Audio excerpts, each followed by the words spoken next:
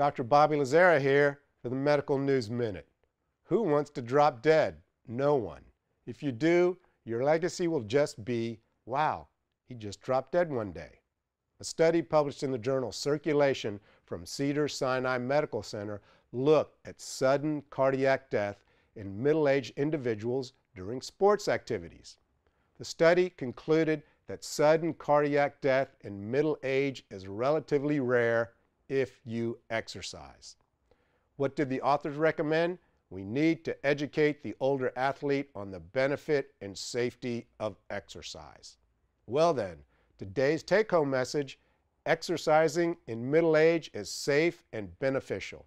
There you go, you've been educated. Remember, always talk to your doctor before starting to exercise, knowing that your legacy won't be, well, he just dropped dead one day. I'm Dr. Bobby Lazzara for the Medical News Minute.